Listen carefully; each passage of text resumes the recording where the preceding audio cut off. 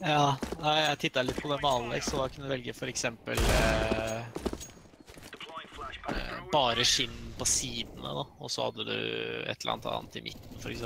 Og, og litt andre ting òg. Ja, Men, det, er, eh, jo- det er jo når du har på si, eh, skinn på siden og stoff i midten som er del skinn. Ja, det er litt bedre, det, altså.